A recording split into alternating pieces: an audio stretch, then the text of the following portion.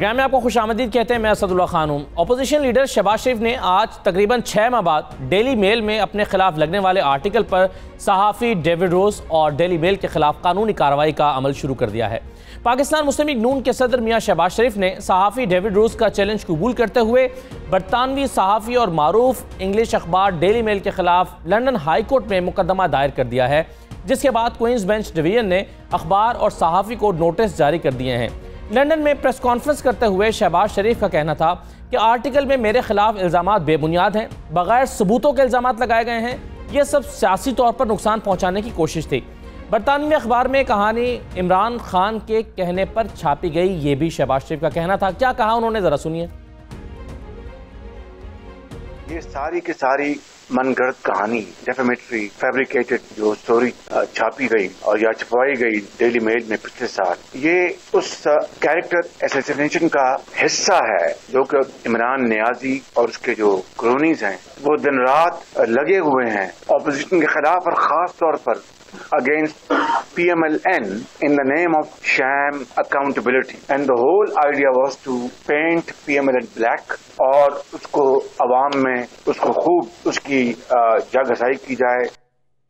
شہباز شریف نے یہ بھی کہا کہ برطانوی عدالت میں دودھ کا دودھ اور پانی کا پانی ہو جائے گا۔ عمران خان ڈلیور نہیں کر سکتے۔ عمران خان صرف الزام تراشی میں ماہر ہیں۔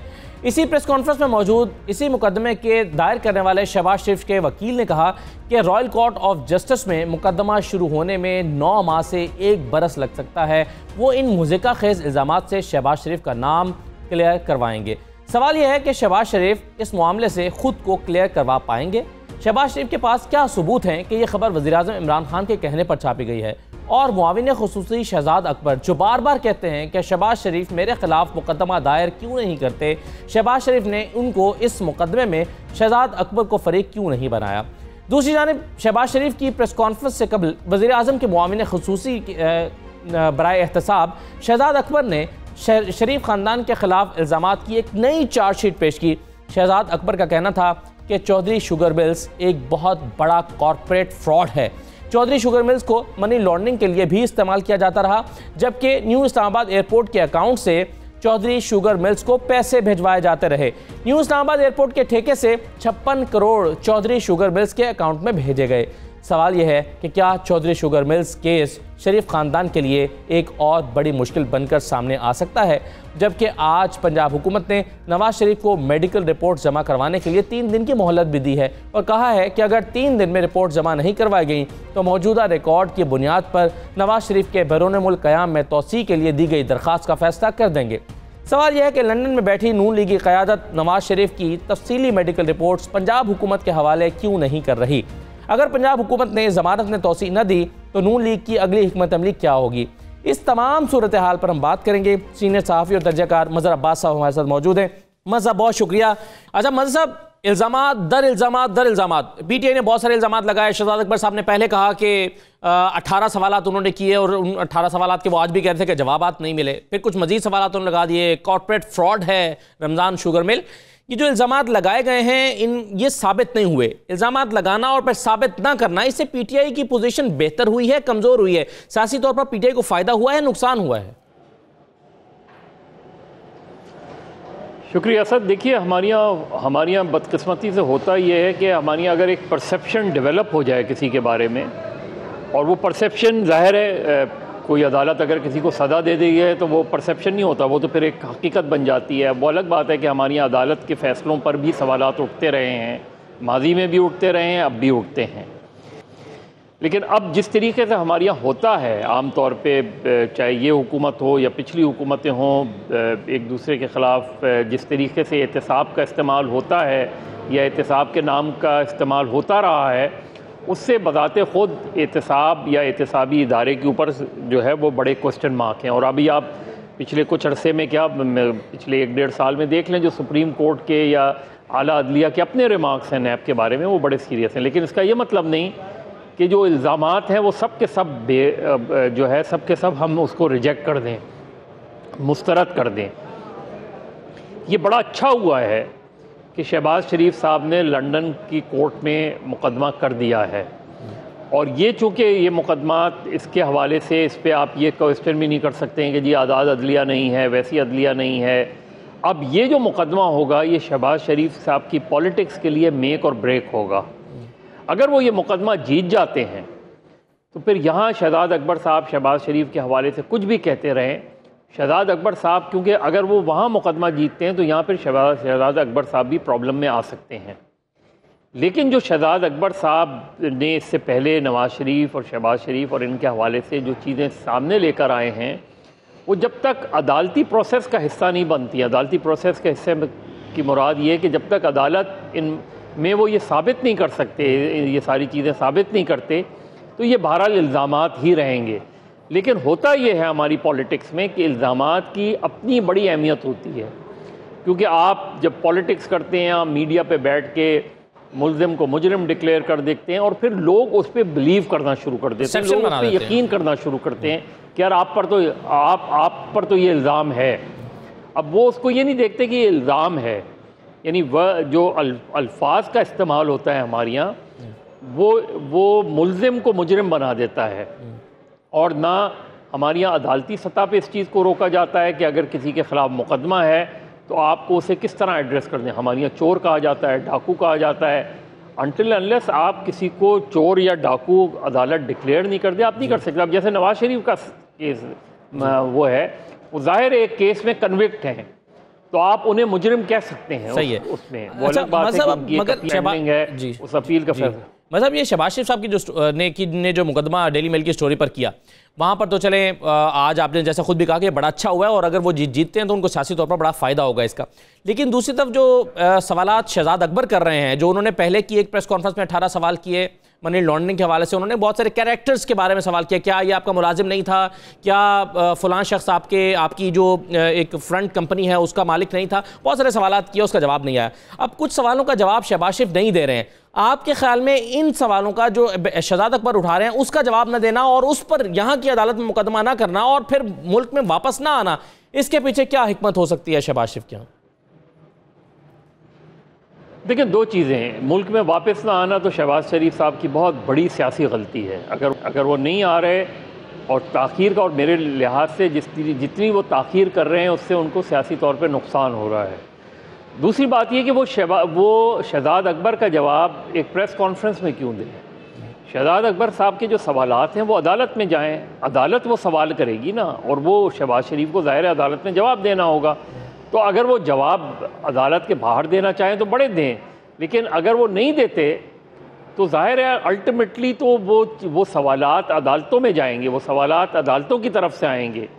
شہزاد اکبر صاحب یا جو بھی پروسیکیوٹر ہوگا وہ یہی چیزیں یہی چیزیں عدالت میں جمع کرائے گا اور عدالت وہ سوالات کرے گی۔ تو یہ ضروری نہیں ہے کہ شہباز شہباز شریف، شہزاد اکبر کا جواب دیں۔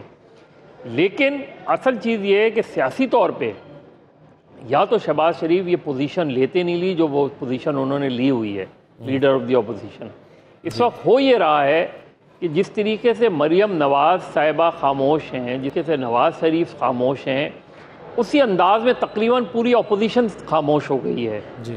یعنی سب نے خاموشی کا روزہ رکھا ہوا ہے۔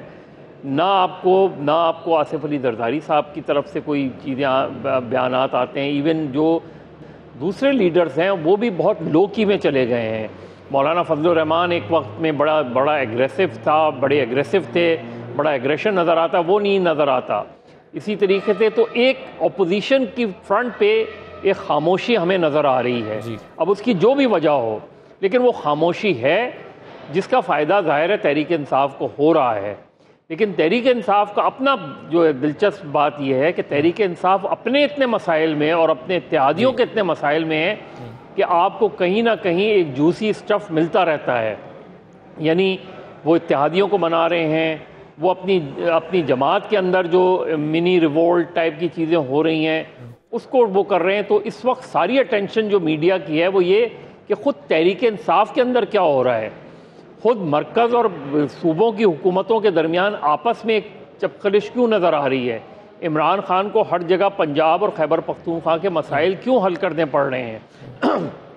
پنجاب اور خیبر پختونخوا کے چیف منسٹرز پرفارم نہیں کر رہے، لیکن اس کے باوجود عمران خان کا ان پہ اعتماد ہے۔ تو ساری خبریں گورنمنٹ کے اپنے حلقوں کی طرف سے آ رہی ہیں گورنمنٹ کے اتحادی اور گورنمنٹ کے درمیان ہو رہے ہیں گورنمنٹ اور اپوزیشن کے درمیان کوئی آپ کو کلیش نظر نہیں آ رہا۔ کیونکہ کیونکہ اپوزیشن کی طرف سے کوئی انیشیٹو ہے ہی نہیں کوئی چیلنج ہے ہی نہیں۔ تو عمران خان کو جس چیلنج کا سامنا ہے جی۔ وہ اپنی پارٹی کے اندر چیلنج کا سامنا ہے اور اپنے اتحادیوں کے ساتھ چیلنج کا سامنا ہے۔ صحیح ہے۔ اس لحاظ سے تو پھر مذہب بہت خوش قسمت ہوئے کہ ان کو اپوزیشن کا کڑا چیلنج درپیش نہیں ہے۔ اور اس سے اس سے فائدہ شاید آپ نے کہا کہ وہ پوری طرح نہیں اٹھا رہے کیونکہ ان کو اپنی اندر اندرونی چیلنج بہت درپیش ہے۔ لیکن یہ اپوزیشن کا جو آپ نے ذکر کیا مذہب کہ اپوزیشن بہت زیادہ پس منظر میں چلی گئی ہے۔ کیوں؟ یہ اتفاق سے ہوا ہے، یہ پلان کر کے ہوا ہے، Maulana Fazl ur-Rehman Muslim League, Noon, Peoples Party, یہ سب کہاں اچانک غائب ہو گئے اور کیوں غائب ہو گئے اور کس سیاسی فائدے کے لیے غائب ہوئے؟ دیکھیں، تاریخی طور پہ پاکستان میں جو سیاسی تحریکیں چلی ہیں، اس میں کہیں نہ کہیں غیر سیاسی قوتوں کا عمل دخل رہا ہے۔ اس وقت صورتحال بظاہر یہ نظر آتی ہے کہ جیسے غیر سیاسی قوتیں جو ہیں وہ موجودہ حکومت سے کے ساتھ ان کے کوئی بڑے پرابلمز نہیں نظر آ رہے، کوئی بڑی کنفرنٹیشن نہیں نظر آ رہی، ان کے اندر یہ کنسرن ضرور ہے کہ گورنمنٹ ڈیلیور نہیں کر رہی۔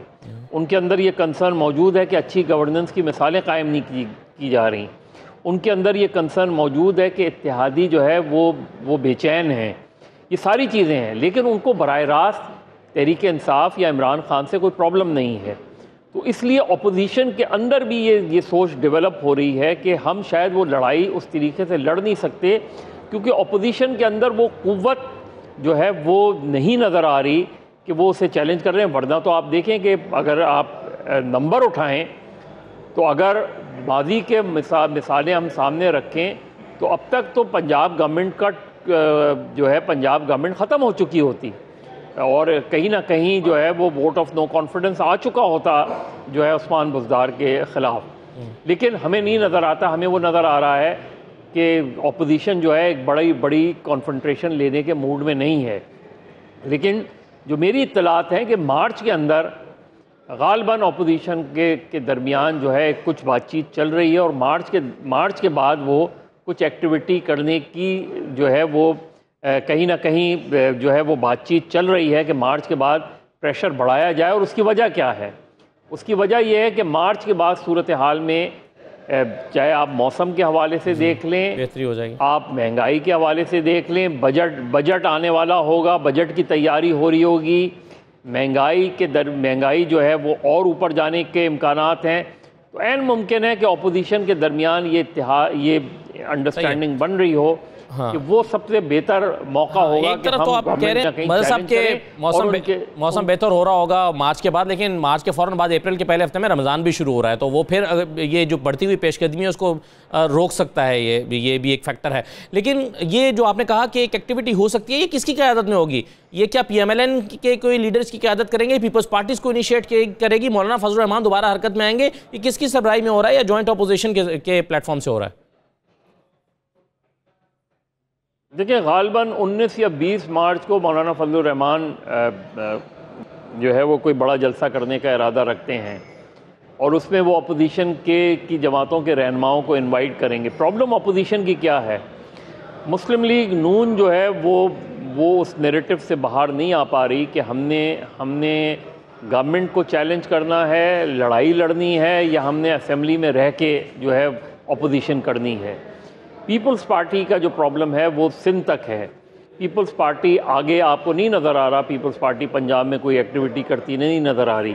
ہمیں پیپلز پارٹی خیبر پختونخوا میں کوئی ایکٹیویٹی کرتی نہیں نظر آ رہی۔ ہمیں مسلم لیگ نون خیبر پختونخوا میں کوئی ایکٹیویٹی کرتی نظر نہیں آ رہی۔ تو ایسا لگ رہا ہے کہ سب نے اپنے اپنے صوبے بانٹ لیے ہیں کہ میں سندھ کی حد تک جو ہے وہ اب سندھ میں پیپلز پارٹی کیا کرے گی؟ پیپلز پارٹی تو سندھ میں حکومت میں ہے۔ تو وہ عمران خان کو کیسے چیلنج کرے گی؟ اگین چاہے آپ آپ کیا یہاں سے جو ہم کئی مرتبہ سن چکے بلاول بھٹو کا کہ میں مارچ لے کے اسلام آباد جاؤں گا یہ کروں گا اب نہیں ہوا۔ اور اس کا نتیجہ کیا ہوا کہ آصف علی زرداری کی بیل ہو گئی فریال تالپور صاحبہ کی بیل ہو گئی اور وہ جو جو ایک ایک نعرہ لگایا گیا تھا وہ نعرہ وہیں کا وہیں رہ گیا۔ اب ہو سکتا ہے کہ چار اپریل بھٹو صاحب کی برسی آئے پھر ایک جلسہ ہو پھر ایک الٹیمیٹم دیا جائے پھر ایک ڈیڈ لائن دی جائے۔ تو اپوزیشن کہیں نہ کہیں مصلحتوں کا شکار ہے۔ نواز شریف صاحب مسلم لیگ نون اپنی مصلحتوں کا شکار ہے۔ پاکستان پیپلز پارٹی اپنی مصلحتوں کا شکار ہے۔ مولانا فضل الرحمان کا پرابلم یہ ہے کہ ان کو وہ اسپیس نہیں مل رہی کیونکہ خیبر پختونخوا میں بہرحال ابھی بھی تحریک انصاف مضبوط ہے۔ جی۔ تو یہ جو پرابلم ہے کہ جو مصلحتوں کا جب آپ شکار ہوتے ہیں تو پھر آپ احتجاج نہیں کر سکتے۔ جی۔ جب آپ مصلحتوں کا شکار ہوتے ہیں تو پھر آپ کوئی تحریک نہیں چلا سکتے جب آپ مصلحتوں اور اپنے مقدمات کا شکار ہوتے ہیں تو پھر آپ لڑائی لڑنے کی صلاحیت نہیں لڑتے تو اپوزیشن کو فیصلہ کرنا ہے کہ انہوں نے کس کون سی اسٹریٹجی بنانی بہت شکریہ۔ عمران خان کو صرف یہ فیصلہ کرنا ہے جی۔ کہ اپنی اپنے اندر کے اتحاد کو جی۔ اپنے پارٹی کے اندرونی اختلافات کو اور اتحادیوں کے اختلافات کو ختم کرنا ہے۔ بہت شکریہ۔ مدر باسا بہت شکریہ اپنا تجزیہ پیش کرنے کے لیے۔ ایک مختصر بریک لے رہے ہیں پروگرام میں۔ بریک کے بعد واپس آتے ہیں۔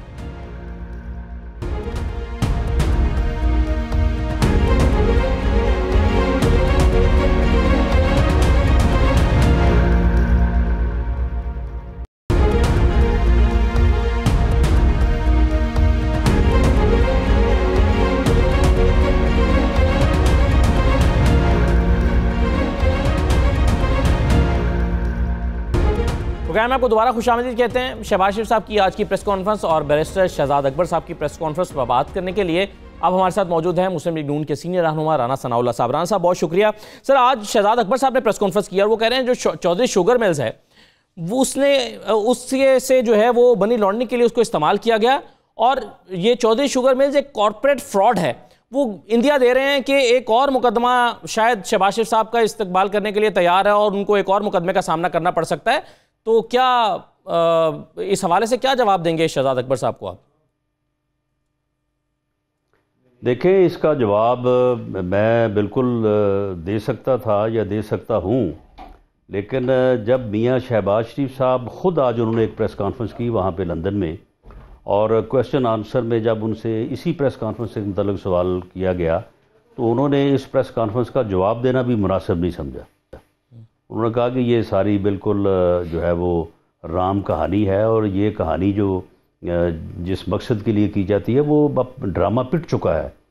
مقصد یہ ہے کہ یہ سمجھتے ہیں کہ اس قسم کی پریس کانفرنس سے، اس قسم کی الزام تراشیاں جو ہے وہ ہم کریں گے تو لوگوں کی ہماری بیڈ پرفارمنس سے، بیڈ گورننس سے اور ہم جو جس طرح سے ہم نے اس ملک کی معیشت کا، اس ملک کے لوگوں کا بیڑا غرق کر دیا، اس سے لوگوں کا دھیان جو ہے وہ ہٹ جائے گا۔ تو یہ اس مقصد کے لیے جو ہے یہ کرتے ہیں۔ اگر ان کے پاس کوئی ایسی بات ہے جس طرح کی بات شہزاد اکبر صاحب فرما رہے تھے، تو مقدمہ درج کریں۔ کس نے روکا ان کو مقدمہ درج کرنے سے؟ یا ریفرنس بھیجیں اگر ان کے پاس کوئی ثبوت ہیں تو۔ یہ پریس کانفرنسیں کرنے کا کرنے کا معاملہ تو نہیں ہے۔ اور پھر ویسے بھی جب ہم گورنمنٹ میں تھے اور اس وقت کبھی اگر کوئی ایسی بات ہوئی تو عمران خان صاحب بڑے زور سے کہا کرتے تھے کہ بھئی آپ تو گورنمنٹ ہیں۔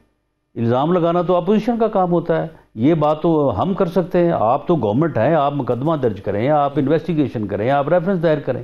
تو آپ خود گورنمنٹ میں ہیں اور وہ پریس کانفرنس سے کر رہے ہیں الزامات لگا رہے ہیں۔ اگر کوئی ایسی چیز ہے جی۔ یہ کریں ایک اور پریس کانفرنس کا حوالہ بھی انہوں نے اپنی ہی پریس کانفرنس کا دیا رہا صاحب آج۔ انہوں نے کہا کہ میں نے ایک پریس کانفرنس میں اٹھارہ سوال کیے تھے شہباز شریف صاحب سے جس میں انہوں نے پوچھا تھا کہ گڈ نیچر کمپنی کیا آپ کی فرنٹ کمپنی نہیں ہے کیا اس کا جو سی او ہے وہ آپ کا فرنٹ مین نہیں ہے؟ کیا منی لانڈرنگ کے لیے فلاں فلاں اشخاص کے ذریعے اور آپ کے گھر ایک گھر سے ماڈل ٹاؤن کے دوسرے دفتر میں کیا آپ کی سرکاری ذاتی گاڑی میں نہیں جاتے رہے؟ انہوں نے اٹھارہ سوال کیے تھے۔ وہ کہہ رہے ہیں آپ نے ان اٹھارہ سوالوں کا جواب بھی نہیں دیا۔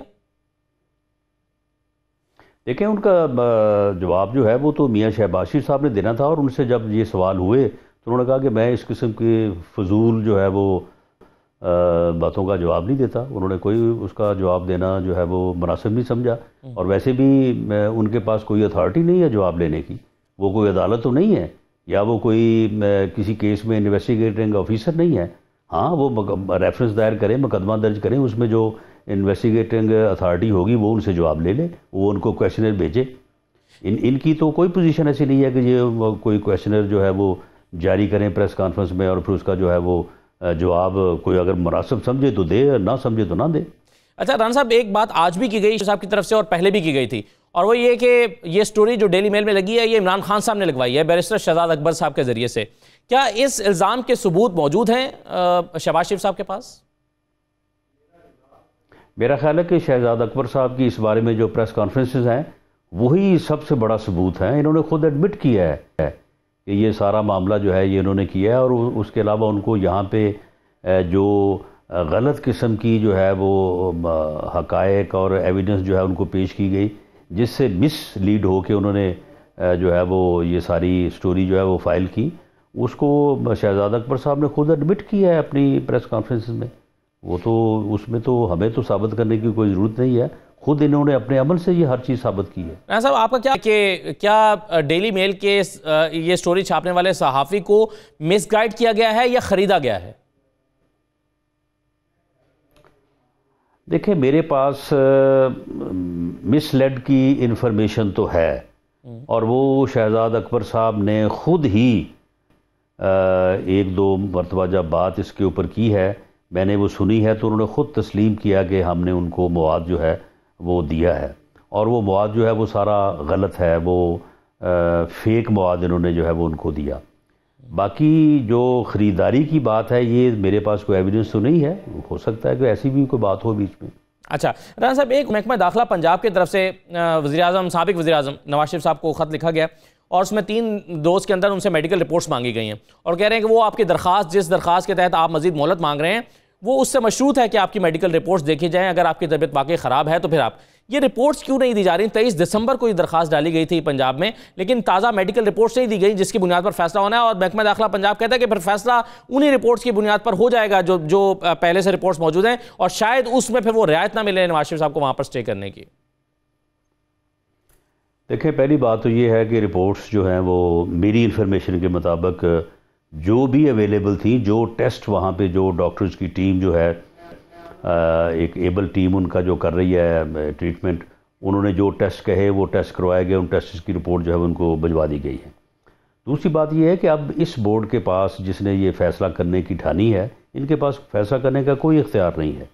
ان کے پاس اس وقت اختیار تھا جب یہ میاں نوازی صاحب ان کے انڈر ٹریٹمنٹ تھے۔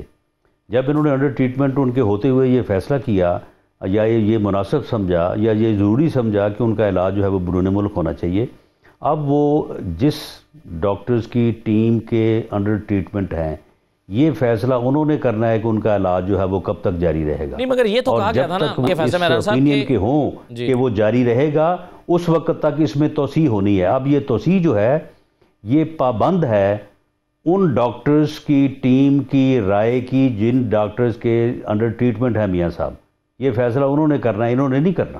اچھا یہ بڑی مختلف انٹرپریٹیشن آپ دے رہے ہیں۔ تو یہ آپ کہہ رہے ہیں کہ پنجاب حکومت کا تو کوئی اختیار ہی نہیں ہے کہ وہ توسیع دینے کا فیصلہ نہیں کرے وہ توسیع دینے کے پابند ہیں اگر ریکمنڈیشن نہیں جو ریکمنڈیشن پر پھر جس سے دستخط سن لیں میرے سن لیں نا سن جی، لیں۔ جی۔ میرے بھائی یہ جنرل پرنسپل ہے۔ یہ جنرل پرنسپل ہے کہ مریض جس ڈاکٹر کے انڈر ٹریٹمنٹ ہوتا ہے اس کی پروفیشنل رائے پریویل کرتی ہے۔ آپ یہاں پہ کسی مریض کو جو ہے وہ آپ ہاسپٹل میں داخل کر دیں تو اس وقت تک اس کو ہاسپٹل سے ڈسچارج نہیں کیا جا سکتا جب تک کہ جس ڈاکٹر کے انڈر ٹریٹمنٹ ہے وہ اس کی اجازت نہ دے۔ اب وہ جن کے انڈر ٹریٹمنٹ ہے ان کی رائے نے پریویل کرنا ہے۔ تو اس کے مطابق ان کو گورنمنٹ کو بھی عمل کرنا چاہیے۔ جی۔ گورنمنٹ عمل نہیں کرتی تو معاملہ عدالت میں جائے گا اور عدالت کا فیصلہ یہی ہوگا۔ اچھا میں یہ سوال کرنے والا تھا کہ اگر پنجاب حکومت اس کے باوجود یہ فیصلہ کرتی ہے کہ آپ کو اب مزید مہلت نہیں دی جا سکتی باہر رہنے کی، تو آپ اس کو چیلنج کریں گے عدالت میں جا کر؟ نہیں، وہ تو عدالت نے فیصلہ کیا ہوا ہے۔ عدالت نے جو فیصلہ کیا تھا، انہوں نے میاں صاحب کو ٹریٹمنٹ کے لیے آٹھ ہفتے کی مہلت دی تھی، بیل دی تھی۔ اس کے بعد انہیں کہا تھا کہ اگر آپ آٹھ ہفتے سے زیادہ آپ کو ضرورت ہو تو آپ پنجاب گورنمنٹ کو اپلائی کریں۔ پنجاب گورنمنٹ جب تک اس کے اوپر فیصلہ نہیں کرے گی آپ کی بیل تصور ہوگی۔ اور اگر پنجاب گورنمنٹ جو ہے وہ کسی وجہ سے آپ کی درخواست مسترد کرتی ہے تو آپ عدالت سے دوبارہ توسیع کے لیے رجوع کر سکتے ہیں۔ اچھا اب یہ بتائیے رانا صاحب شہباز شریف صاحب ملک سے باہر ہیں اور بہت سارے سوال اٹھ رہے ہیں کہ لیڈر آف دی اپوزیشن اگر ملک سے باہر ہیں اور ان کے باہر رہنے کی سوائے اس کی کوئی وجہ سمجھ نہیں آ رہی کہ نواز شریف صاحب کی طبیعت خراب ہے، لیکن بہرحال ان کی طبیعت کے خرابی کے باوجود شہباز شریف صاحب واپس آ سکتے ہیں، دوبارہ جا سکتے ہیں، پھر آ سکتے ہیں، پھر جا سکتے ہیں۔ ان کا وہاں پر مسلسل موجود رہنا اور پھر مریم صاحبہ کا مسلسل خاموش ہے نا اس پر سوالات اٹھ رہے ہیں۔ آپ کے خیال میں ان سوالات کا جواب کب تک دیا جا سکتا ہے؟ شہباز شریف صاحب کب تک واپس آنے کا ارادہ رکھتے ہیں؟ دیکھیں، شہباز شریف صاحب میاں صاحب کا جو وہاں پہ آپریشن کی بات چل رہی ہے۔ اب حتمی فیصلہ میرا خیال ہے کہ ودن نیکسٹ ویک جو ہے وہ ہو جائے گا۔ تو میاں شہباز شریف صاحب کی یہ سوچ ہے اور بالکل صحیح سوچ ہے کہ اگر یہ آپریشن جو ہے وہ ہوتا ہے تو یقیناً وہ بائی پاس آپریشن ہوگا ان کے ہارٹ کا۔ تو اس موقع کے اوپر جو ہے وہ ان کا وہاں پہ موجود ہونا واقعہ ہی ضروری ہے۔ تو اس لیے وہ اس وجہ سے وہاں پہ رکے ہوئے ہیں۔ اللہ کرے کہ وہ آپریشن جو ہے وہ یا تو رائے یہ آئے کہ اس کی ضرورت نہیں ہے اور اگر پھر رائے یہ آتی ہے کہ وہ آپریشن ہوگا تو پھر اس وقت میاں صاحب کا وہاں پہ ہونا جو ہے وہ بالکل ان کو ہونا چاہیے۔ اور اگر کہ یہ رائے آئے ڈاکٹرز کی کہ ان کو آپریشن کی ضرورت نہیں ہے تو شہباز شریف صاحب فوراً واپس آنے کا فیصلہ کر لیں گے؟ یہ اس سے مشروط ہے ان کے بالکل بالکل بالکل۔ اچھا یہ بتائیے رانا صاحب۔ یعنی آپریشن ایک آپ کو آپ کے علم ہے نا میجر تھنگ ہے۔ جی وہ بالکل واپس آ جائیں گے۔ ٹھیک ہے۔ اچھا رانا صاحب یہ بتائیے پنجاب میں جو سیاسی صورتحال ہے وہ آپ کے علم میں ہے؟ آپ کی نظر ہے اس پر۔ کیا چودھری صاحب سے، چودھری پرویز الہی صاحب سے اور چودھری برادران سے رابطے میں ہیں آپ ابھی بھی؟ دیکھیں جی سیاستدانوں کے آپس میں رابطے تو ہوتے ہیں۔ ہم تو ان کے بھی بہت سارے لوگ جو ہیں وہ ہمارے ساتھ رابطے میں ہیں۔ لیکن ان رابطوں کو کسی سازش کی بنیاد قرار دینا جو ہے وہ میں سمجھتا ہوں کہ مناسب نہیں ہے۔ چوری صاحبان سے کوئی رابطہ ہمارا صرف اس لیے نہیں ہے کہ ہم کو ان کے ساتھ بیٹھ کے کوئی پلاننگ کر رہے ہیں، لیکن ایک رابطہ جو ہے وہ بہت سارے لوگوں، اور لوگوں سے بھی ہے، ان کی جماعت کے لوگوں سے بھی ہے۔ کیا رانا صاحب کو ایسی سے ہو سکتی ہے جس میں آپ ان کو یہ آفر کریں؟ کہ آپ آپ کہ مسلم لیگ کاف جو ہے وہ آپ کا ساتھ دے اور آپ ان کو پنجاب میں کچھ بڑا آفر کر دیں تاکہ پی ٹی آئی کی جو وزارت اعلیٰ ہے ان کے خلاف کو تحریک عدم اعتماد لائی جا سکے۔ کیا اس طرح کی آفر آپ انہیں کر چکے ہیں یا کرنا چاہتے ہیں یا کچھ زیر غور ہے؟ دیکھیں یہ جب وقت آئے گا تو اس وقت اس کے اوپر فیصلہ ہوگا۔ لیکن میری ایک پولیٹیکل ورکر کے طور پہ اسیسمنٹ ہے کہ اتنی اتنی تھن میجورٹی سے حکومت چل ہی نہیں سکتی۔ یہ جو ابھی صورتحال پیدا ہوئی ہے نا کے پی کے میں پنجاب میں پھر اس کے بعد ایم کیو ایم کے ساتھ تو یہ وقتی طور پہ جو ہے وہ ان شولوں کو جو ہے وہ بجایا تو گیا ہے لیکن یہ چنگاری جو ہے یہ آنے والے دو تین ماہ بعد جو ہے وہ اس سے بھی زیادہ طاقت کے ساتھ جو ہے وہ ڈیمیجنگ ایفیکٹس کے ساتھ جو ہے وہ سامنے آئے گی۔ اتنی تھن میجورٹی سے حکومتیں نہیں چلائی جا سکتی۔ اچھا۔ پانچ سات ووٹوں کی مرکز میں اور پانچ سات ووٹوں کی پنجاب میں صورتحال ہے۔ یہ ممکن نہیں ہے یہ۔ ویسے تو سر ہم نے دو ہزار یا تو پرفارمنس بہت اے پلس ہو۔ ہاں دو ہزار دو سے دو ہزار سات کے درمیان ہم نے دیکھا تھا اس سے بھی اکانومی کا بیڑا غرق ہو گیا ہے۔ عام آدمی جو ہے وہ پریشان ہے۔ ہر گھر میں جو ہے وہ جو ہے وہ بپتا پڑی ہوئی ہے۔ تو ایسی صورتحال میں جو ہے نا وہ گورنمنٹ اتنی تھن میجورٹی سے نہیں چلائی جا سکتی۔ لیکن ایک پرسپشن یہ ہے رانا صاحب کہ اس وقت حکومت کو اپوزیشن کا کوئی چیلنج درپیش نہیں ہے۔ اپوزیشن بالکل منظر نامے سے غائب ہے۔ پیپلز پارٹی خاموش ہے۔ پی ایم ایل این کی لیڈرشپ غائب ہے۔ مولانا فضل الرحمان نہ جانے کہاں جا کر بیٹھ گئے ہیں خاموشی سے۔ تو اپوزیشن کا کوئی چیلنج ہی درپیش نہیں ہے۔ تو پھر کیا چیلنج ہے جس سے حکومت کو ڈیسٹیبلائز ہونے کا خطرہ ہے؟ آپ کہہ رہے ہیں حکومت نہیں چلائی جا سکے گی۔ جب چیلنج درپیش نہیں ہوگا باہر سے تو پھر ہی اندر کا چیلنج جو ہے نا وہ سامنے آئے گا۔ یہ میں آپ کو بتا دوں۔ تو آپ تکیہ کیے ہوئے ہیں؟ جو ہے نا آپ تکیہ کیے ہوئے چیلنج پر؟ اس نہیں اندر کا چیلنج جو ہے نا یہ یہ انویٹیبل ہے ناگزیر ہے۔ تو باہر کا چیلنج اگر آپ کی رائے یہ ہے کہ وہ درپیش نہیں ہے تو اندر کا چیلنج تو پھر درپیش ہے۔ تو اندر کے چیلنج کی حوصلہ افزائی کر رہی ہے اپوزیشن خاموش ہے سر۔ میرا خیال ہے اپوزیشن کو کرنی چاہیے کیوں نہیں کرنی چاہیے؟ ساری دنیا کہہ رہی ہے کہ کریں ساری دنیا کہہ رہی ہے اس عذاب سے ہماری جان چھڑائیں۔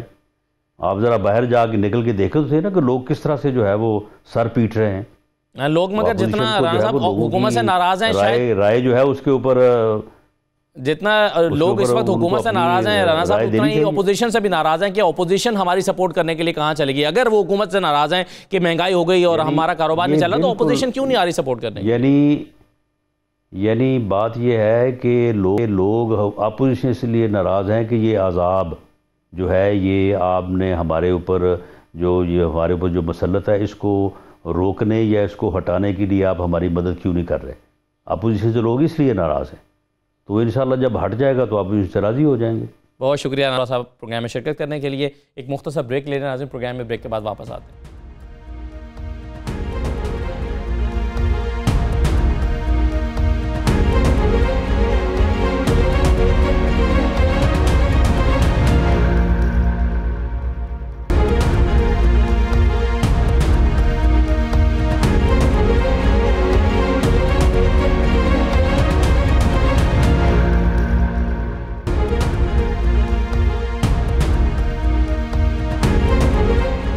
بعد دوبارہ خوش آمدید، بھارت اندرونی صورتحال کو بہتر بنانے کے بجائے داخلی اور خارجی محاذ پر شرارتیں کرنے کا سوچ رہا ہے اور یہی مودی کا وطیرہ بھی رہا ہے کہ جب بھی بھارت میں اس کے خلاف آوازیں بلند ہونا شروع ہوتی ہیں، مودی پاکستان کے خلاف زہر اگلنا شروع کر دیتا ہے۔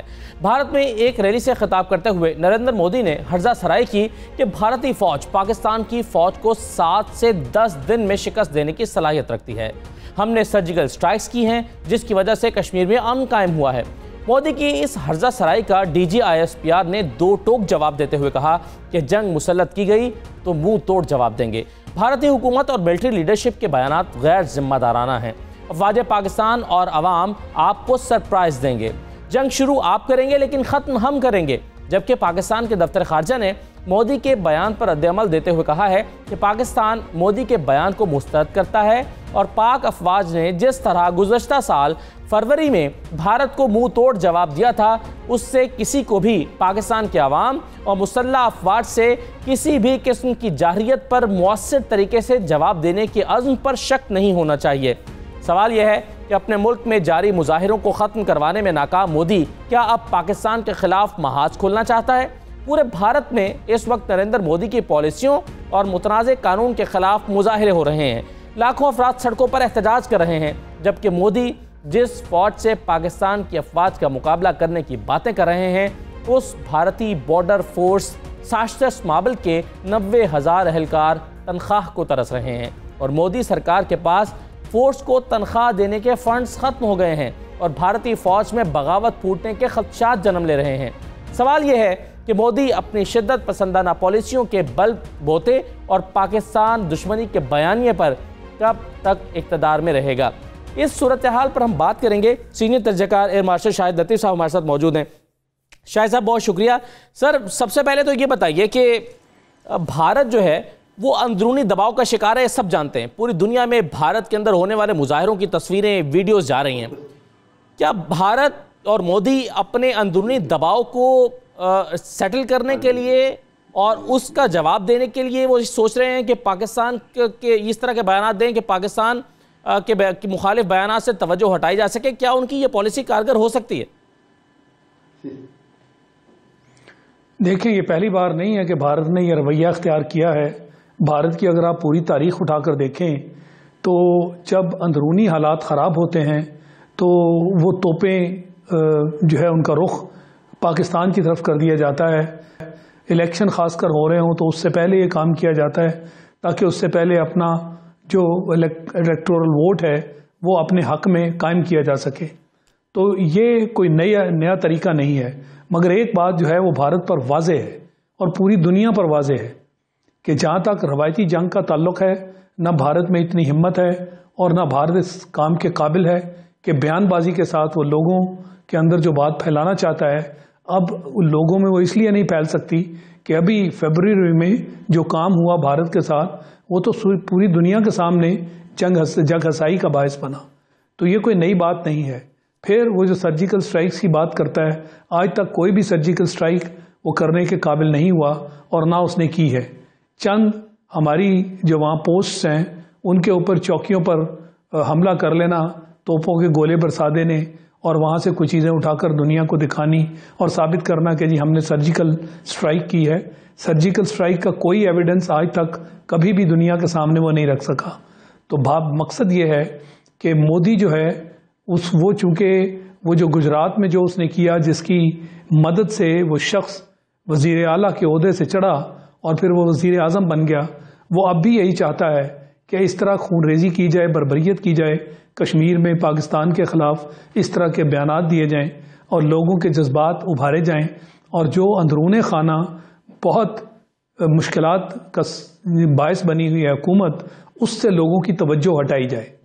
مگر یہ کامیاب اس لیے نہیں ہو سکتا کہ نہ ہی مگر شاہ صاحب جی، یہ سوال کر رہا تھا کہ یہ تو بڑی بڑا احمقانہ سا بیان ہے جو بنیادی طاقت کے بنیادی اصولوں کی سمجھ رکھتا ہے۔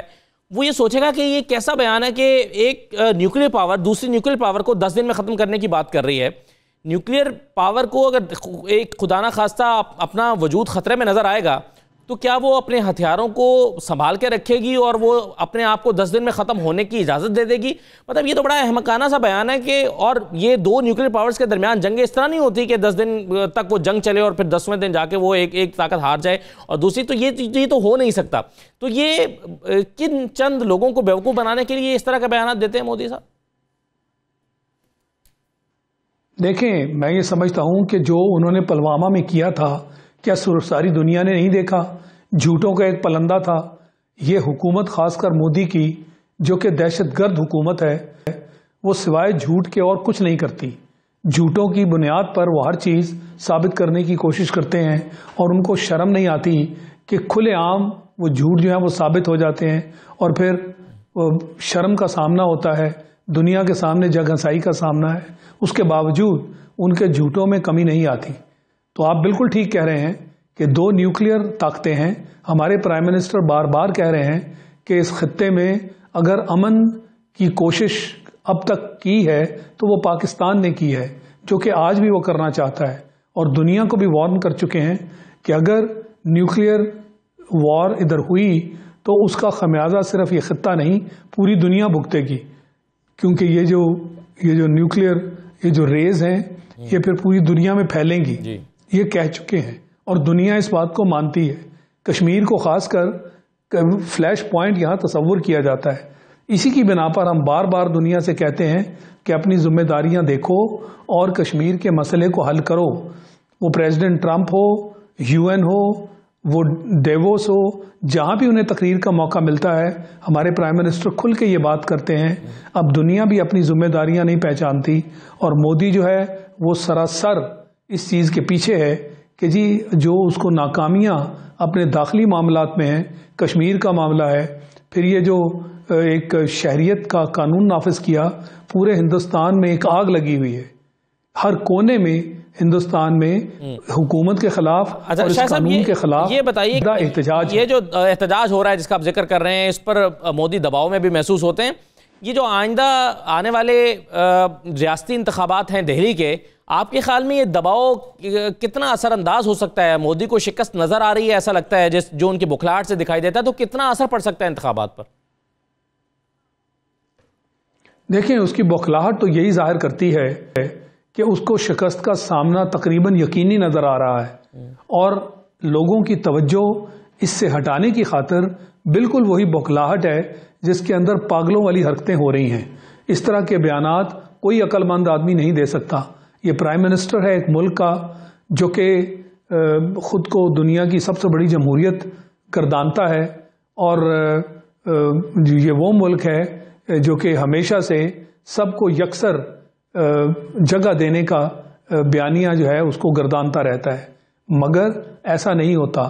وہ سیکولر ہندوستان، جس کے بارے میں گاندھی اور نہرو ذکر کرتے تھے، وہ کہاں ہے؟ ہندوستان کے اندر سے نعرے لگ رہے ہیں۔ کہ ہمیں یہ ہندوستان ہرگز قبول نہیں کیونکہ ہمارے لیڈران نے اس کو سیکولر ملک کے نام پر بنایا تھا۔ جی۔ اور یہ جو آج کل ہو رہا ہے یہ ہرگز سیکولر نہیں ہے۔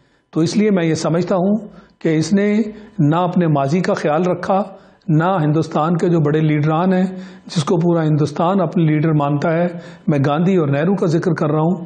ان کے بتائے ہوئے اصولوں پر قائم رہنا اس نے اپنی ذمہ داری ہرگز نہ سمجھا ہے اور نہ اس کے مطابق وہ جو وہ جو سمت ہے اس پر یہ قائم ہے۔ بہت شکریہ اس لیے میں سمجھتا ہوں صاحب بہت شکریہ شرکت کرنے کے لیے اپنا تجزیہ پیش کرنے کے لیے ایک مختصر سا بریک لیتے ہیں۔ بریک کے بعد ناظرین واپس آتے ہیں۔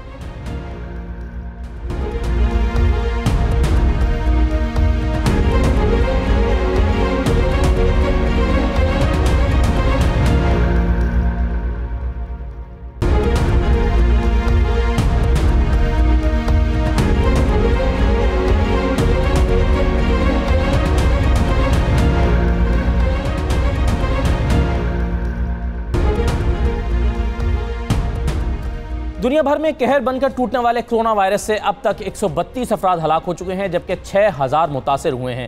جبکہ مشتبہ کیسز کی تعداد نو ہزار سے تجاوز کر گئی ہے۔ ووہان سے شروع ہونے والا یہ وائرس چین کے دوسرے شہروں کے علاوہ فضائی سفر کرنے والوں کی بدولت دنیا کے سولہ ممالک میں پھیل چکا ہے۔ تھائی لینڈ فرانس، امریکہ اور آسٹریلیا سمیت سولہ دیگر ممالک میں کم از کم سینتالیس کیسوں کی تصدیق ہو چکی ہے، مگر چین سے باہر کسی اور ملک سے ہلاکت کی اطلاع موصول نہیں ہوئی ہے۔ چین کے اندر بین الاقوامی ملٹائی نیشنل کمپنیوں کے دفاتر اور کارخانے بند ہونا شروع ہو گئے ہیں، جبکہ کئی ممالک نے چین کے لیے اپنی پروازیں معطل کر دی ہیں، جبکہ فروری دو ہزار بائیس میں ہونے والے بیجنگ ونٹر اولمپکس کو منسوخ کر دیا گیا ہے۔ کرونا وائرس کے قہر سے عوام کو بچانے کے لیے سترہ شہروں میں چھ کروڑ افراد محصور ہو چکے ہیں۔ وہان شہر میں ہو کا عالم ہے۔ ایک کروڑ آبادی کا شہر وہان آج سیب زدہ شہر کا منظر پیش کر رہا ہے، جبکہ اسی شہر میں پانچ سو پاکستانی طلبہ بھی موجود ہیں، جو کہ مختلف یونیورسٹیز میں تعلیم حاصل کر رہے ہیں۔ خبریں ہیں کہ چار پاکستانی طلبہ میں بھی وائرس کا نشانہ بننے کی اطلاعات موصول ہوئی ہیں۔ پاکستانی سفارت خانے کا موقف ہے کہ اپنے شہریوں سے مسلسل رابطے میں ہیں، لیکن فی الحال چین سے کسی بھی فرد کو پاکستان آنے کی اجازت نہیں دی جا رہی تاکہ اس وائرس کو پھیلنے سے روکا جا سکے۔ جبکہ لاہور شہر میں کرونا وائرس کے دو مشتبہ مریض سامنے آئے ہیں، جن میں سے ایک خاتون اور اس کے تین سال کے بچے میں کرونا وائرس کی علامات پائی گئی ہیں۔ پاکستان میں سی پیک اور دوسرے منصوبوں پر کام کرنے والے چینی انجینئرز اور دوسرے عملے کو ان کی کمپنیوں تک محدود کر دیا گیا ہے اور ان کے ٹیسٹ کیے جا رہے ہیں۔ کرونا وائرس پر پوری دنیا میں ہی تشویش کی لہر پائی جا رہی ہے۔ برٹش ایئر لائن نے اپنے چین کے لیے پروازیں معطل کر دی ہیں۔ آسٹریلیا نے چین سے آئے اپنے چھ سو افراد کو الگ جزیرے میں دو ہفتے تک رکھنے کا اعلان کیا ہے، جبکہ جاپان نے پاکستان کو کرونا وائرس کی چار ٹیسٹنگ کٹس عطیہ کرنے کا اعلان کیا ہے۔ ان تمام اقدامات کے بعد بھی فکر کی بات یہ ہے کہ تاحال اس وائرس سے مقابلہ کرنے کے لیے کوئی ویکسن یا علاج موجود نہیں ہے۔ چین میں اس وقت پاکستانی طلبہ کی صورتحال کا، کس صورتحال کا سامنا کر رہے ہیں؟ اسی پر ہم بات کریں گے۔ ہمارے ساتھ کچھ طالبات موجود ہیں۔ سب سے پہلے تو مجھے یہ بتائیے کہ آپ کون سے شہر میں ہیں اور وہاں پر کیا صورتحال ہے اور کیا سفارت خانے سے آپ رابطے میں ہیں؟ پہلے تو آپ کا شکریہ ادا کروں گی کہ آپ نے ہمیں لائن پہ دیا۔ ہم لوگ اس وقت ووہان سے بیس منٹ کے فاصلے پر ہوانگشی سٹی میں ہے جو کہ ہبئی کے ہبئی پروونس میں ہی ہے۔ اور دوسرا، ہم نے سفارت خانے سے بارہا رابطے کی کوشش کی ہے۔ Uh, ایون ہم نے ان سے رابطہ کیا ہے کالز میسیجز ای میلز جو بھی ہم کر سکتے ہیں ہم نے کیا ہے. لیکن ان کی طرف سے ہمیں کوئی بھی سیٹسفیکٹری آنسر نہیں ملا. ہماری ای میل ڈیلے ہو گئی تھی. اس کے بعد انہوں نے مطلب ہمیں کوئی جواب نہیں دیا. کالز کرتے ہیں تو وہ کالز نہیں اٹھاتے. اور اگر جب کسی کی کال اٹھا لیتے ہیں تو وہ آگے سے کہتے ہیں کہ ہم لوگ اس کے ذمہ دار نہیں ہیں. ہمارے ہاتھ بندے ہوئے ہیں. آپ لوگ پاکستان کی حکومت سے رابطہ کریں اچھا یہ بتائیے کہ اس شہر میں کتنے پاکستانی طلبہ موجود ہیں اور کیا کسی میں کرونا وائرس کی تصدیق تو نہیں ہوئی؟ ہماری بھی صرف یونیورسٹی کی اگر بات کی جائے تو اس میں تو اس میں سو کے قریب پاکستانی بچے ہیں اور اس کے علاوہ دوسری نیشنلٹیز بھی ہیں۔ لیکن پاکستانی بچوں کی تعداد سو ہے اور اگر ہم ووہان کی بات کریں تو وہاں پہ کافی زیادہ بڑی یونیورسٹیز ہے اور پوری ہبئی کی بات کی جائے تو آلموسٹ دو ہزار پاکستانی بچے تو قریباً ہوں گے۔ لیکن ابھی ہماری ویکیشنز بھی ہیں تو شاید کچھ بچے ویکیشن پر گئے ہوں گے گھر پہلے سے ہی۔ تو ہمیں اچھا دیکھیں یہ باقی ممالک سے ہماری حکومت کا کہنا ہے کہ باقی ممالک نے بھی اپنے شہریوں کو وہیں پر چھوڑا ہوا ہے ان کو باہر نہیں نکال رہے۔ تو آپ کے ساتھ پھر انڈیا کے اسٹوڈنٹس یا یا دیگر جو ممالک ہیں ان کے طلبہ و طالبات بھی تو موجود ہوں گے۔ تو کیا وہاں پر رہنا سیف ہے؟ باقی ممالک بھی تو ظاہر ہے کنسرن نہیں ہے تو پاکستان اگر کنسرن نہیں ہے مطلب میں حکومت پاکستان کے پوائنٹ آف ویو سے آپ سے بات کر رہا ہوں۔ تو اس میں کیا حقیقت ہے؟ یہ بات میں بالکل بھی مطلب پورے سوکھ سے کہتی ہوں کہ یہ بات میں بالکل بھی سچائی نہیں ہے، کیونکہ ابھی ہمیں ابھی پتہ لگا ہے کہ کل انڈیا کے بچے، جتنے بھی ہمارے یہاں پہ انڈیا کے بچے ہیں، ان کی امبیسی نے انہیں میسج کیا ہے کہ آپ لوگ تیار رہیں۔ کل ہم آپ کو یہاں سے ایویکیویٹ کر لیں گے اور دوسرا یو ایس اے نے اور برٹش امبیسی نے بھی اپنے بچے ایویکیویٹ کر لیے ہیں۔ یو ایس اے نے تو ٹوئنٹی سکس جین کو ہی اپنے بچے یہاں سے نکال لیے تھے اور پاکستان ہی ہے صرف جن کے سب بچے یہاں پہ ہیں اور نہ ہی ہمیں ان کی طرف سے کوئی سیٹسفیکٹری آنسر مل رہا ہے نہ کوئی یہ بتائیے کہ کیا والدین کے ساتھ جو ہے وہ آپ کا رابطہ ہو رہا ہے اپنے والدین کے ساتھ مسلسل؟ ہمارے پیرنٹس سے ہمارا رابطہ اس لیے بھی دشوار ہے کہ ہمیں چائنا میں لیگلی جو سی ایپس ہیں وہ ہم یوز نہیں کر سکتے، وہ انلیگل ہیں۔ اور اگر ہم کبھی کریں بھی تو پراکسی کو کنیکٹ کرتے ہیں۔ اور پراکسی آپ سب کو پتہ ہی ہے کہ اچھی نہیں چلتی۔ تو ہمیں اس میں بھی دشواری کا سامنا ہے اور جب کبھی بھی ان سے کانٹیکٹ ہوتا ہے تو وہ بہت پریشان ہوتے ہیں۔ مطلب ساری بات ہی رونے دھونے میں گزر جاتی ہے۔ اور اب تو حالات ایسے ہیں کہ سب نے توقل صرف اللہ سے ہی رکھی ہوئی ہے۔ اچھا یہ بتائیں کہ آپ کے ساتھی طلبہ و طالبات میں سے کوئی بچہ اس وائرس کا شکار تو نہیں ہوا ہے؟ اب تک یہاں یہاں ہماری سٹی میں تو کوئی بھی بچہ وہ اس وائرس کا شکار نہیں ہوا لیکن وہان سے جو خبریں مل رہی ہیں وہ یہی ہے کہ چار بچے اس وائرس کا شکار ہو چکے ہیں۔ اور یہاں پر ابھی تک ایسا کچھ نہیں ہے۔ اچھا اب یہ بتائیے کہ حکومت پاکستان سے آپ کا مطالبہ کیا ہے؟ ہاں پریکٹیکلی یہ ممکن ہے کہ ہماری یہاں پہ جو سی ٹرانسپورٹیشن ہے وہ کمپلیٹلی شٹ ڈاؤن ہے۔ ہم لوگ ان سے یہ مطالبہ کر رہے ہیں کہ ہمیں ایویکیویٹ کر لیں آپ۔ ہم یہ نہیں کہہ رہے کہ ہمیں مفت ٹکٹس پہ سفر کرنا ہے ہمیں اپنے گھر جانا ہے اور یہ ہمارا رائٹ ہے۔ ہم پاکستانی ہیں ہمارا وجود پاکستان سے ہے۔ اور میرے بھی خیال سے کہ کوئی بھی ہمیں اس ہمارے اس حق سے منع رکھ سکتا ہے یا دور رکھ سکتا ہے۔ تو ہمارا پاکستانی حکومت سے تمام متعلقہ اداروں سے یہی درخواست ہے۔ ہماری یہی ہم سے درخواست ہے کہ پلیز ہمیں یہاں سے نکالا جائے۔ ہم اپنی ٹکٹس خود بھائی کرنے کے لیے۔ تیار ہیں۔ اور بس ہمارے ساتھ تعاون کیا جائے، ہمارے لیے ٹرانسپورٹیشن بھائی جائے مطلب ہمیں یہاں سے ایویکویٹ کیا جائے۔ ہم پوری طرح سے تیار ہیں کہ ہم اپنی ٹکٹس تک خود دیں گے، لیکن ہمیں یہاں سے ایویکویٹ کیا جائے، ہمارے لیے ٹرانسپورٹیشن اوپن کی جائے۔ جیسے کہ باقی جو کنٹریز ہیں، انہوں نے اپنے اسٹوڈنٹس کے لیے کیا ہے، ہمارے لیے بھی یہاں ایسا ہی کیا جائے۔ ہم پاکستانی ہیں اور پاکستان کا حصہ ہیں۔ ہم ہم اپنی قوم کا سرمایہ ہے، ہم اپنے گھر سے اتنا دور ہیں، اپنے وطن سے اتنا دور ہے لیکن ہمارے لیے کوئی بھی کوئی بھی اقدام کرنے کو تیار نہیں ہے۔ سفارت خانہ ایک طرف حکومت کے نمائندے ایک طرف آپ اپنا بہت خیال آپ اپنا خیال رکھیے گا اللہ تعالیٰ آپ سب کو محفوظ رکھے اور ہم آپ کے توسط سے اور آپ کی جانب سے حکومت سے یہ استدا کرتے ہیں کہ ان بچوں کو ان کے والدین کی جو کے اندر جو بے چینی موجود ہے اس کا خاتمہ کرنے کے لیے اقدامات اٹھائے جائیں۔ اس کے طریقے موجود ہو سکتے ہیں۔ جس طرح سے بھارت کر رہا ہے کہ وہ اپنے اسٹوڈنٹس کو واپس لا کر ان کو آئسولیشن میں رکھ کے پندرہ دن کے لیے ان کی اسکریننگ کرے گا اور ان کو مانیٹرنگ کرنے کے بعد اپنے والدین سے ملنے کی اجازت دے گا۔ اس طرح کی کوئی حکمت عملی بنائی جا سکتی ہے تاکہ یہ بچے جو پاکستانی اسٹوڈنٹس وہاں پر پڑھنے کے لیے گئے ہیں۔ ان کے والدین جو ہیں، ان کی بے چینی کو کم کیا جا سکے۔